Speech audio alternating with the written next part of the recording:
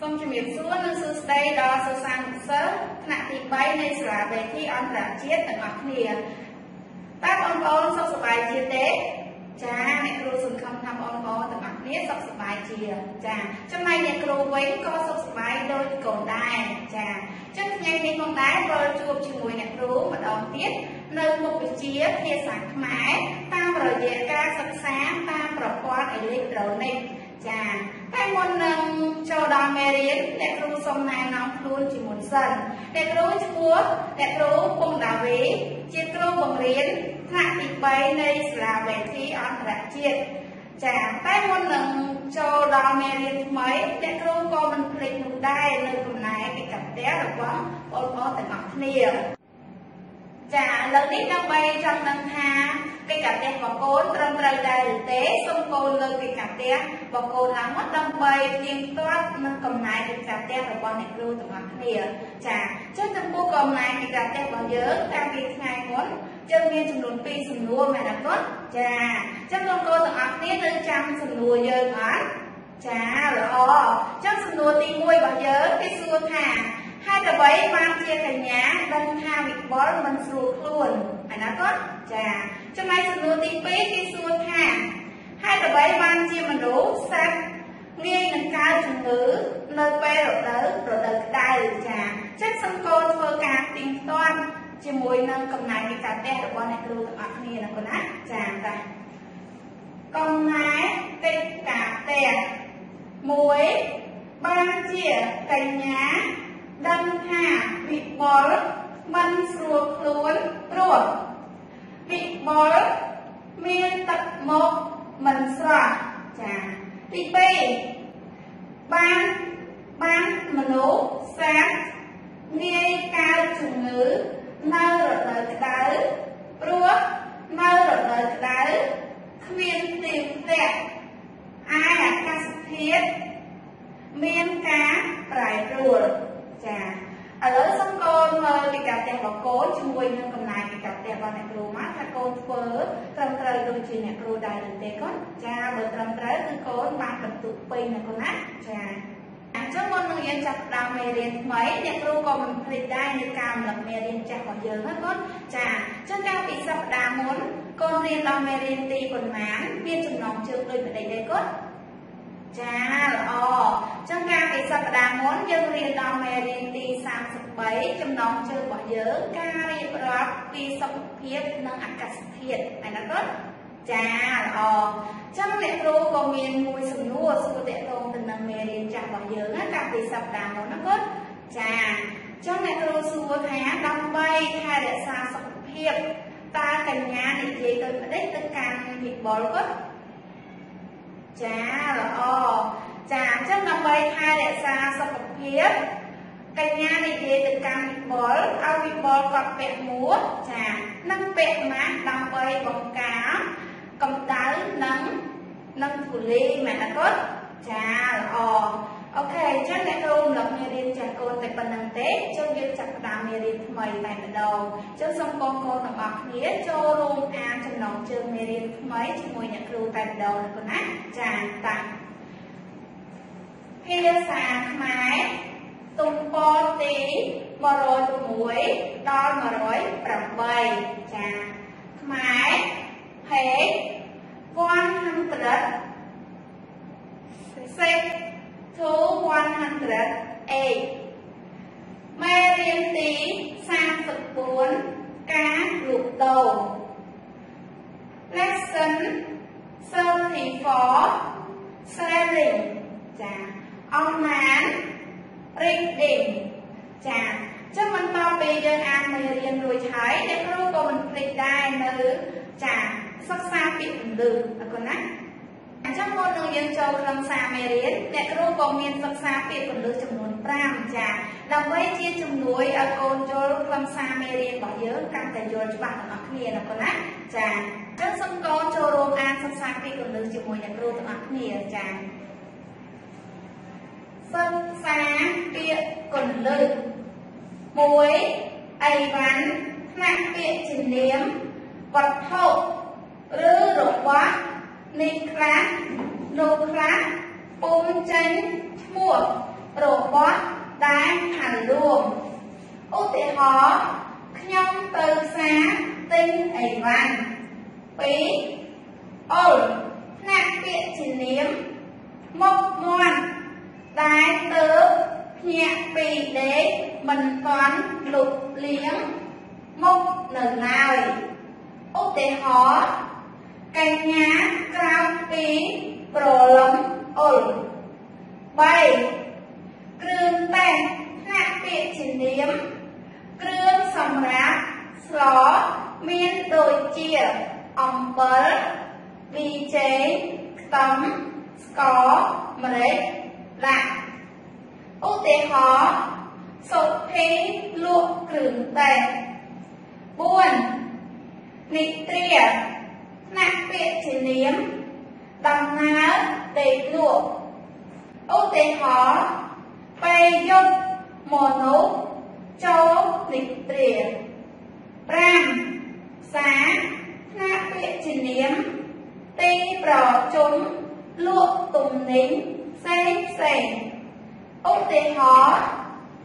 មិញខ្សែទៅផ្សារចា៎ចឹងយើងបានអានសិក្សាពីគន្លឹះរួចហើយចឹងយើងចូលខ្លឹមសារមេរៀនរបស់យើងតែម្ដងអញ្ចឹងបន្ទាប់ពីយើងអានសិក្សាពីគន្លឹះរួចមកចាអញ្ចឹងសូមកូនលើកសភៅពងភាសាខ្មែរយើងឡើងទាំងអស់គ្នាមកគាត់ចាអញ្ចឹងសូមកូនលើកសភៅឡើងមកបើកទំព័រទី106ណាកូនណាអញ្ចឹងសូមកូនចូលរួមអានអំណាចជាមួយអ្នកគ្រូទាំងអស់គ្នាចាមេរៀនទី34ការលក់ដូរអំណាចចូលអានអត្ថបទខាងក្រោមរួចឆ្លើយនឹងសំណួរចាព្រឹកនេះសុភីនាងបានឆ្លៀតពេលទៅជួយម្ដាយលក់ដូរនៅឯផ្សារសុភីនិងម្ដាយក្រោកពីនិទ្រាតាំង ពីប្រឡងអុលរៀបចំបន្លែត្រីសាច់និងគ្រឿងទេសដាក់លើរទេះដើម្បីយកទៅលក់ចាពេលមកដល់ផ្សារសុភីស្ទុះស្ទាជួយរើអីវ៉ាន់ពីរទេះដាក់លើដាក់លក់លើតូបនៅក្នុងផ្សារមានមនុស្សច្រើនកកក ស្លៀកពាក់ស្អាតបាតខ្លះដើរទិញម្ហូបអាហារប្រចាំថ្ងៃខ្លះដើរទិញអីវ៉ាន់ប្រើប្រាស់ផ្សេងផ្សេងចាសុភីមានទឹកមុខញញឹមញញែមអញ្ជើញភ្ញៀវចូលទិញព្រមទាំងយកជំនាញគិតលេខដែលបានរៀនមកអនុវត្តតាំងពីប្រឡំដល់ល្ងាច សុភីនិងម្ដាយមកមានញឹកនឹងការលក់ដូរដោយមានភ្ញៀវចូលទិញជាហោហាយអ្នកភូមិប្រុសស្រីចូលចិត្តទិញអីវ៉ាន់មិញសឿនណាស់ព្រោះគាត់លក់តម្លៃថោកសមល្មមចាការប្រកបរបរលក់ដូរធ្វើឲ្យគ្រួសារមិញសឿនមានជីវភាពសមរម្យ ចាឥឡូវនេះកូនបានចូលរួមអានអំណាចជាមួយអ្នកគ្រូទាំងអស់គ្នាហើយអញ្ចឹងអ្នកគ្រូសង្ឃឹមថាកូននឹងយល់ពីខ្លឹមសារអំណាចរបស់យើងណាចាបន្ទាប់ពីយើងបានអានអំណាចរួចមកអ្នកគ្រូក៏មានសំណួរចំនួន4ចាអញ្ចឹងសូមកូនចូលរួមអានសំណួរជាមួយអ្នកគ្រូទាំងអស់គ្នា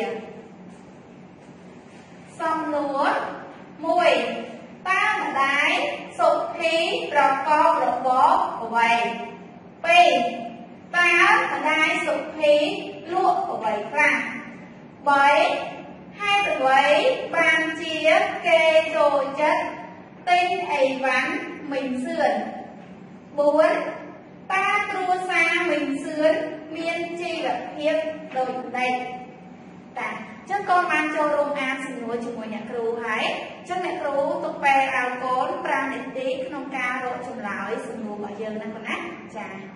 ឥឡូវពេលវេលាដែលអ្នកគ្រូទុកពេលឲ្យកូន5នាទីក្នុងការរកចម្លើយគឺបានមកដល់ហើយចាចឹងអ្នកគ្រូសង្ឃឹមថាកូនទាំងអស់គ្នារកចម្លើយបានណាចាចឹងតាកូនទីតចម្លើយរបស់កូនជាមួយនឹងជាមួយនឹងចម្លើយរបស់អ្នកគ្រូទាំងអស់គ្នាចាចម្លើយ1ម្ដាយសុភីប្រកបរបរលក់ដូរនៅផ្សារ2 ម្ដាយសុភីលក់បន្លែត្រីសាច់និងគ្រឿងទេស3បានជាគេចូលចិត្តទិញអីវ៉ាន់មិញសឿនព្រោះគាត់លក់តម្លៃហោចសមល្មមចាទី4គ្រួសារមិញសឿនមានជីវភាពសមរម្យចាឥឡូវយើងបាន អឺអ្នកគ្រូបានអានចម្លើយឲ្យកូនរួចហើយចឹងអ្នកគ្រូសង្ឃឹមថាកូនរកចម្លើយដូចជាអ្នកគ្រូដែរចាអញ្ចឹងបន្ទាប់ពីយើងបានផ្ទៀងផ្ទាត់ចម្លើយជាមួយគ្នារួចមកអ្នកគ្រូក៏មានលំហាត់ចំនួន3ចាដើម្បីឲ្យកូនចាធ្វើទាំងអស់គ្នាចាលំហាត់1ចូលរកបរិស័ទនិងពាក្យទិញ និងហៅ2ចូលរកវេវេចនៈស័ព្ទនិងពាក្យនិត្រា3ចូលរកស័ក្តិទឹកស័ក្តិស័ព្ទនិងពាក្យភ្ញៀវចាឥឡូវអ្នកគ្រូនឹងទុកពេលឲ្យកូនចំនួន5នាទី ក្នុងការចារកចម្លើយលំហាត់យើងទាំងអស់គ្នាណាកូនណាឥឡូវនេះរយៈពេលដែលអ្នកគ្រូឲ្យកូនចារកចម្លើយ ក្នុងលំហាត់យើងហ្នឹងគឺបានមកដល់ហើយអញ្ចឹងសូមកូនកូនទាំងអស់គ្នាចាលើកលំហាត់នឹងឡើងមកដើម្បីទៀងទាត់នឹងលំចម្លើយរបស់អ្នកគ្រូទាំងអស់គ្នាចាអញ្ចឹងចម្លើយរបស់អ្នកគ្រូទី1បដិស័កនឹងពាក្យទិញចាទិញតុយនឹងលក់ហោតុយនឹងថ្លៃ2 វេវេចនៈស័កនឹងពាក្យនិត្រាចានិត្រាដេកសឹមទុំកេទី3ស័កទៅស័កនឹងពាក្យភៀវចាភៀវថ្នាក់ពាក្យជានាមអ្នកទីតីក្រៅពីគ្នាឯងក្នុងផ្ទះឧទាហរណ៍ភ្ញៀវមកលេងផ្ទះមួយទៀតភ្ញៀវដែរតែថ្នាក់ពាក្យជានាមចាឈ្មោះលើអត់សំតឈ្មោះឈើមួយប្រភេទមានផ្លែចេញពីមេឃឬពីដើមជាចង្កោមចង្កោមមានរសជាតិជូរអែមឧទាហរណ៍ បងស្រីខ្ញុំចូលចិត្តញ៉ាំផ្លែខៀវចាអញ្ចឹងកូនបានចូលរួមអានចម្លើយជាមួយអ្នកគ្រូហើយចឹងអ្នកគ្រូសង្ឃឹមថា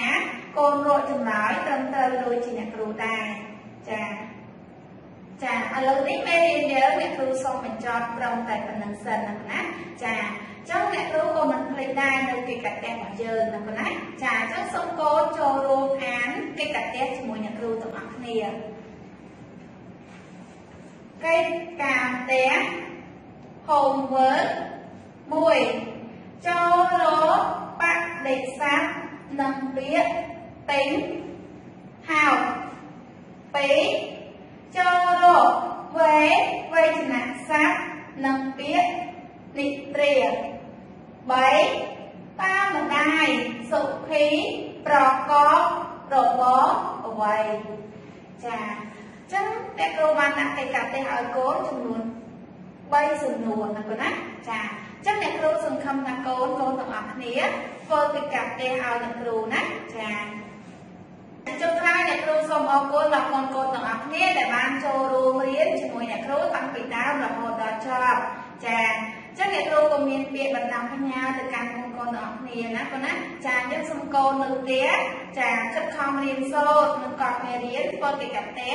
ឲ្យលោកគ្រូអ្នកគ្រូណាបងណាដើម្បីបានបន្ទុកមួយវិញទៀតកូននៅផ្ទះសូមធ្វើ